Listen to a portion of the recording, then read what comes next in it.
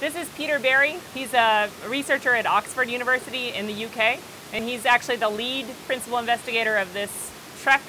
And he is a former Vol, so he was at UT from 2013 to 2014. So yeah, For two so, years. So it's okay. He can talk to you guys too because he's a volunteer. and I got my so, orange yeah, on he's got his orange on. Um, so he's going to tell us about what varies over the, the river.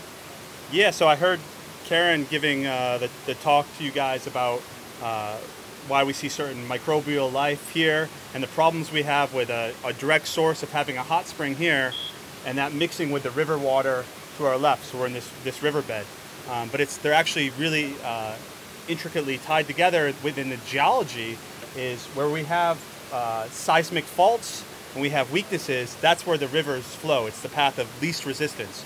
So that's typically where we have rivers forming along along seismic faults. And that's also where we see uh, these conduits for very deep fluids and volatiles from the Earth's interior. So it's the same reason that we see these hot springs here. Uh, it's the same reason that we see rivers in this part of the world. Um, Yeah. So it's it's all it's all connected It's all together. there. If is it also, and I guess the other thing that's nice about that is that it helps us identify where the seeps are because we can see bubbles coming through water. Do you, Exactly. do you think there are a lot of seeps that do not have rivers associated with them that we just can't find because they don't have bubbles? Yeah, I think I think the amount of uh, seeps that we actually know about are probably it's probably just the tip of the iceberg.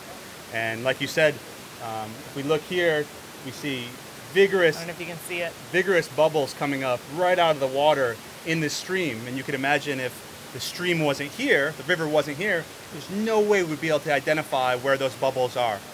Um, so uh, it, it's a it's a part of every every hot, hot spring we see and we know about. They're almost always associated uh, with these rivers, which is good because it's a it's a wonderful place to do to do field work and it's a It's beautiful, beautiful. location in the in the here in the in the rainforest of Costa Rica. So